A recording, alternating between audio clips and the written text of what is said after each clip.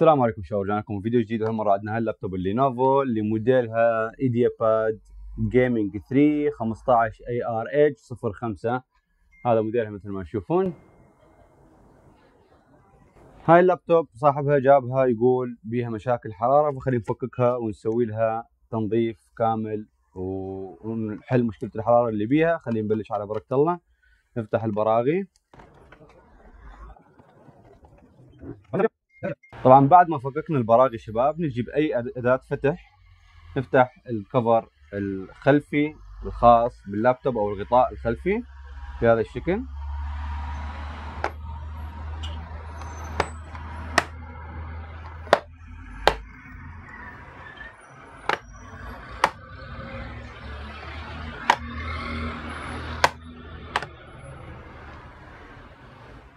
مثل ما تشوفون الوضعية أمامكم مأساوية. فراح ننظف هاي الوساخة كلها ونرجع اللابتوب إن شاء الله إلى وضع المصنع. فمن وين نبدي؟ أول شيء راح نفكك مجموعة التبريد بشكل كامل.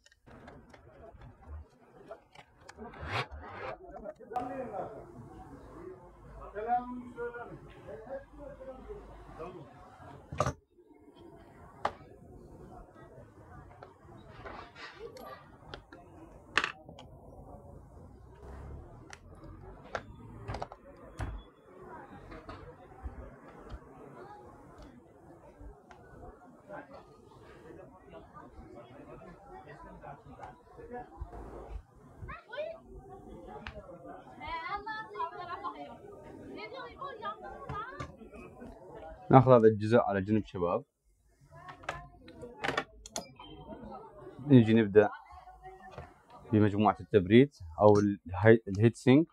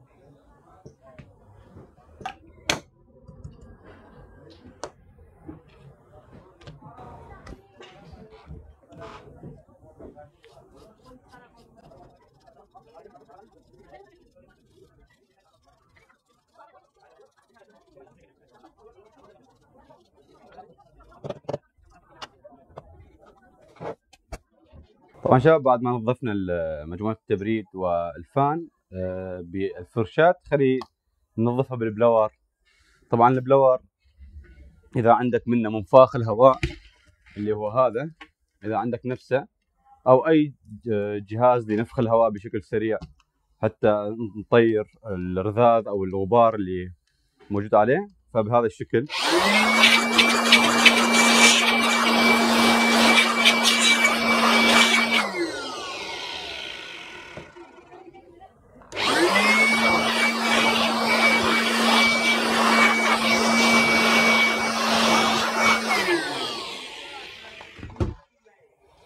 نرجع مرة ثانية بشكل سريع نشوف إذا أكو مكانات مغلقة.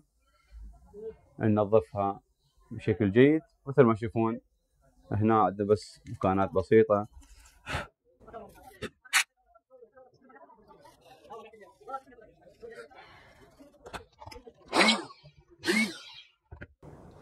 بعد ما نظفنا مجموعة التبريد والفان نأخذها على جنب. قبل ما ناخذها على جنب خلينا نفكك الفان ونشوف إذا بداخلها أكو فد وساخة عالقة أو شيء نفتح البراغي الخاصة بالفان بهذا الشكل. طبعا واذا ممكن آه، إذا ممكن انتزاع الفانات من مكانها فينصح بأنه يتم عملية إعادة دهنها الفانات فايضا بعد ما نفكك هذا الغطاء الخاص بالفان راح يبين عندنا الفان ممكن انتزاعها ولا لا. بهذا الشكل.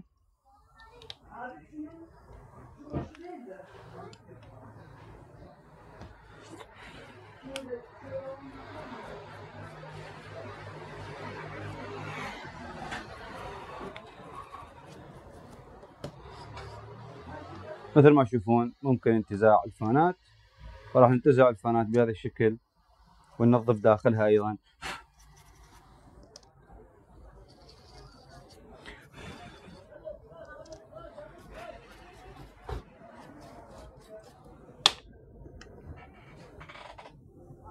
طبعا بأي سائل منظف أنا عندي هذا الزاهي المخلوط بالمي.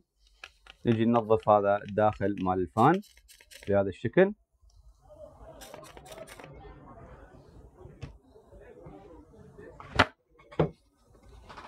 وبآي كلينكس نجي ننظف. الفان بهذا الشكل.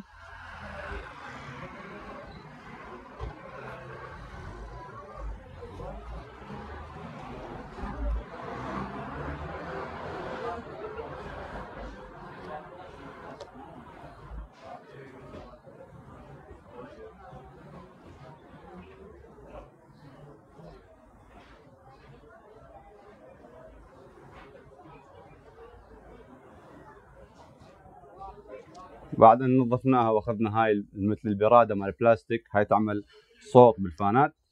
نظفناها بهذا الشكل. خلينا نجي ننظف الفان بشكل سريع. أيضا حتى نضمن إنه ما يظهر أصوات منها أثناء العمل.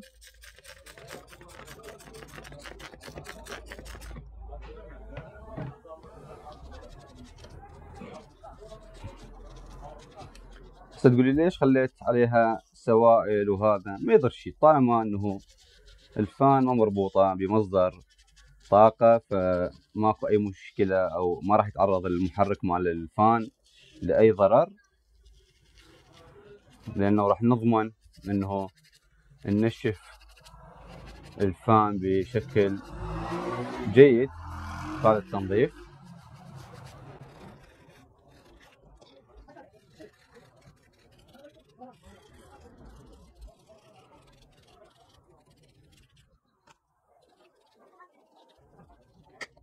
هسه أول شيء راح نسويه راح ننفخ الفانات بالبلور وبعدين ننشفها بهواء حار ونرجع نجمعها مرة ثانية.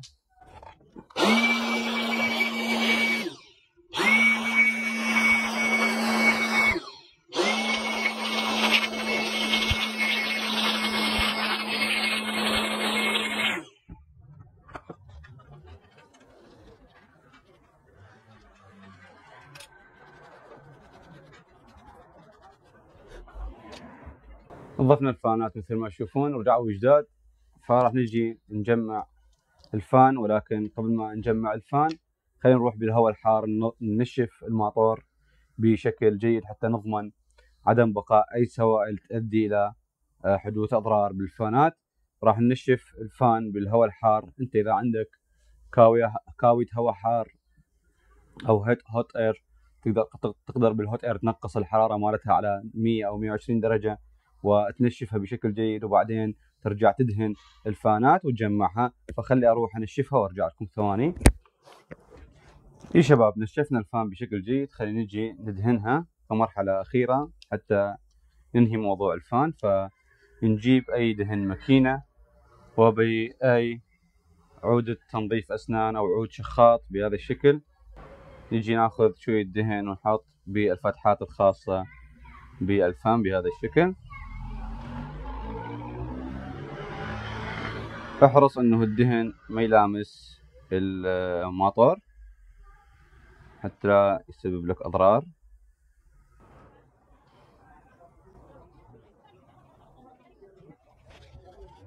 نجي نقعد الفانات محلها شباب بعد ما دهناها.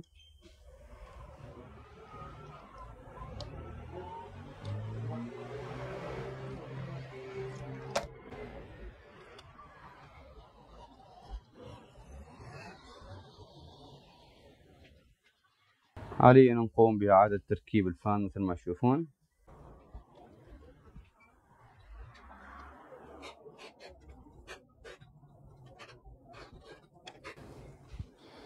مثل ما تشوفون ال fan رجعت جديدة. يا شباب بعد ما نظفنا ال fan ونظفنا مجموعة التبريد مثل ما شفتوا خلينا نجي ناخذ اللابتوب بهذا الشكل. مثل ما تشوفون مليانة أتربة خلينا نضربها أيضا ب blower وننظف الداخل مالتها سوا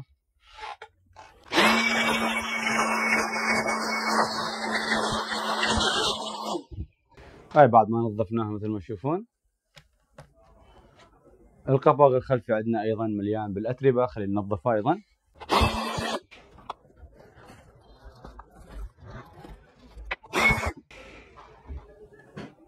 مثل ما تشوفون شباب نظفنا الغطاء الخلفي أيضا. حاليا نجي قبل ما نجمع اللابتوب نجي ننظف المعجون الحراري بكل عناية بدون ما نضرر. المعالج أو كارت الشاشة. طبعا هذا ال GPU هذا ال CPU. فعلى كيفنا نجي ناخذ المعجون الحراري بهذا الشكل.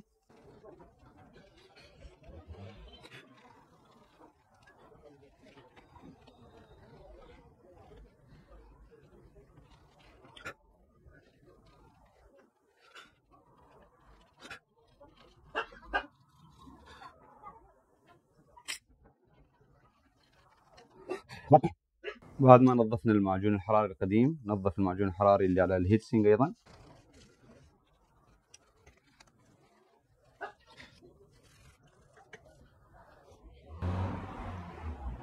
مثل ما تشوفون نظفنا المعجون الحراري القديم ونخلي معجون حراري جديد.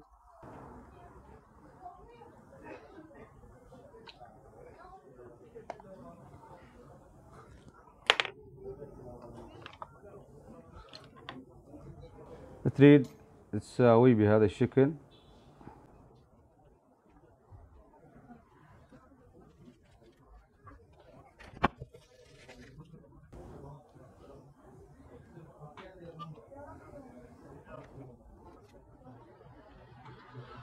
خلينا نقعد ال fan اولا. حتى ال wire هذا أو الأسلاك الخاصة بالأنتينا مال الواي فاي نقعدها محلها بأريحية بدون ما نتعرض للمضايقة.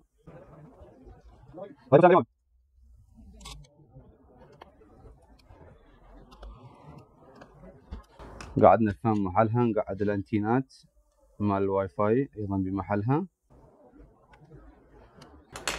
ثواني وارجع لكم. إي شباب قعدنا ال fan محلها وقعدنا الكيبلات مال الواي فاي نجي نقعد الهيت سينك محلة بهذا الشكل. طبعا أكو أرقام على الهيت سينك يفضل إنه تتبع الأرقام. يعني هسه واحد اثنين ثلاثة بعدين أربعة. وهنا أعتقد المفروض خمسة. وهنا الستة. اتبع السرى اللي موجود على البراغي. وهذا مثل ما تشوفون الشكل النهائي للداخل مال اللابتوب بعد عمل تنظيف كامل للداخل مالتها. صارت مثل وردة. نيجي حاليا نقعد القبوغ الخلفي محله بعد أيضا إن نظفناه. نجي نشد البراغي محلها.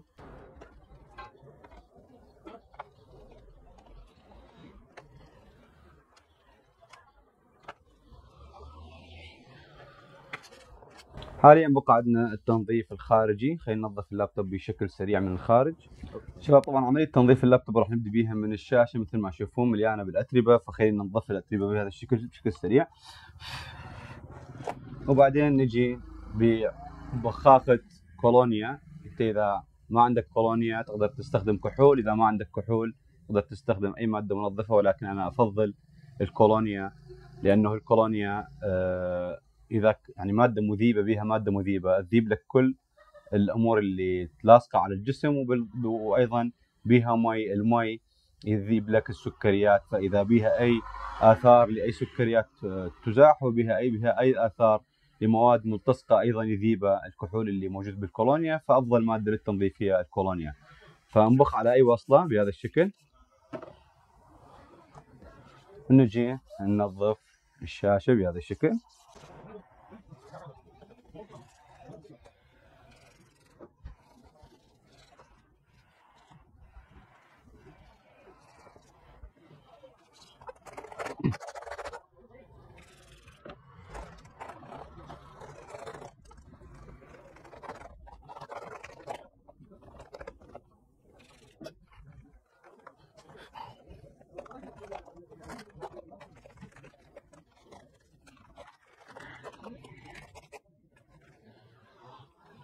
طبعا خليه نلمع الشاشة.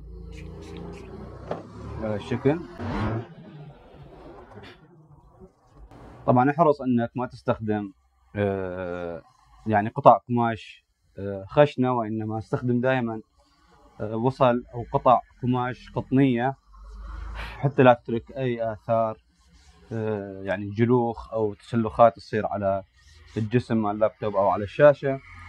فهذه النقطة جدا مهمة أخذها بعين الاعتبار حتى تنظف اللابتوب بدون ما تعمل مشاكل.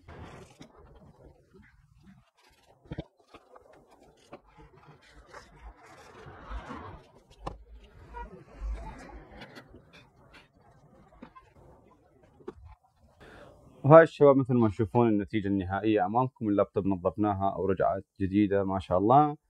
هذا كل شيء اللي عندي فيديو اليوم. أتمنى يكون الفيديو عجبكم. إذا عجبكم الفيديو تنسونا بالإعجاب بالفيديو والاشتراك بالقناة وتفعيل زر الجرس حتى يوصلكم كل جديد.